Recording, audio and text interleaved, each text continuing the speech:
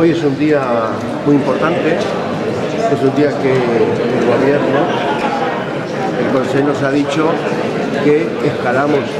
un peldaño más en recuperar derechos, en hacer que el copago no se convierta en una barrera para acceder al tratamiento, a las medicinas de sectores vulnerables de nuestra sociedad. Gracias al acuerdo del botánico, en donde figura que el copago no puede constituir una barrera para la igualdad este, en la atención a las enfermedades, hemos establecido medidas para que el copago